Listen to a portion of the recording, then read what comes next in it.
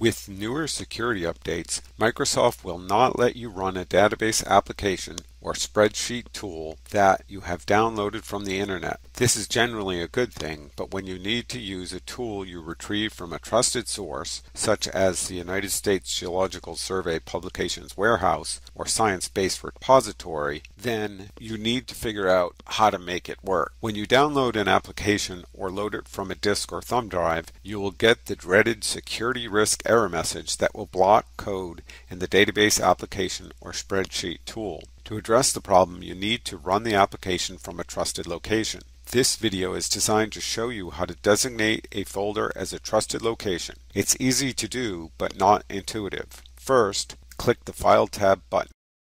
When the File menu appears, select the Options item.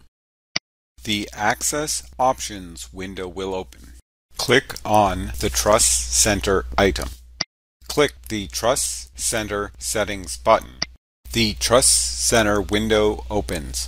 Select the Trusted Locations item. Click the Add New Location button.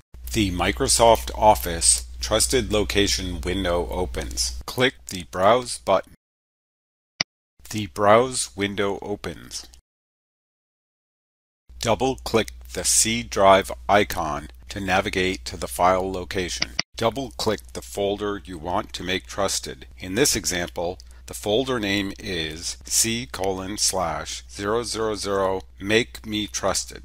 Now click the OK button. Select the subfolders of this location are also trusted checkbox. Click the OK button. Again, click the OK button. Click the OK button on the Access Options screen. The Stochastic Empirical Loading and Dilution Model version 1.1.1 window opens. Click the OK button. Select the Database Tools tab. Click the Compact and Repair Database button. Click the Close button. Click the folder you are using from the taskbar. On my computer, I moved it to the right edge most people have it on the bottom of the screen, or you can navigate to the desired folder using your favorite method. Once the folder with the application opens, double-click the database application you are using. In this case, SELDM version 1.1.1.accdb. The database window will open. In this case, it is the Stochastic Empirical Loading and Dilution Model version 1.1.1. Now the warning is gone and you can use the application. For SELDM, click the Proceed button to continue. In summary, if you get the security risk error, then make sure you have an application from a reliable source and run the file from a trusted location. Hopefully this video has helped.